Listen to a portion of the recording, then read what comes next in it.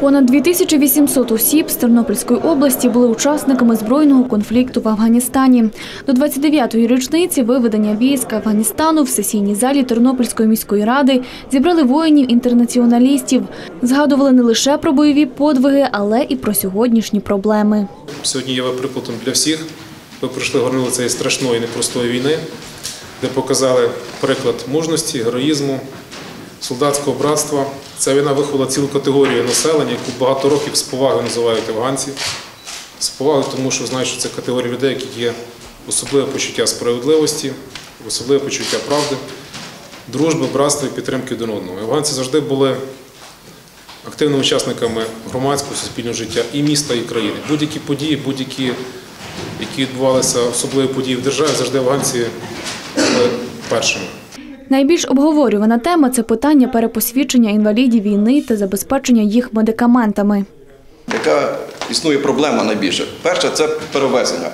Це учасники бойових дій ну, починають вже, як би сказати, не пускати в маршрутки, не надавати проїзд, е, тільки ж обов'язково, щоб була карта тернополяна.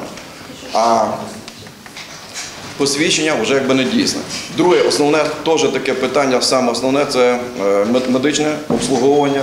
Вже в лікарнях, в поліклініках завжди у вас запитання, перше питання. Ви учасник АТО? Ні. Значить, учасник бойових Афганістані вже не проходить.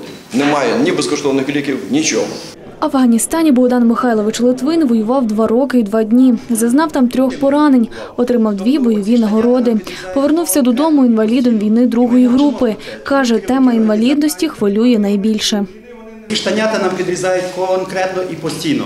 І ми мовчимо про це. Чомусь керівники організації ні обласної, ні міської, ні міської спілки інвалідів війни не подають якісь, не збирають людей. Червонописький не е, збирає людей під Кабміном. Ми не збираємося тут, ми не відстоюємо свої інтереси.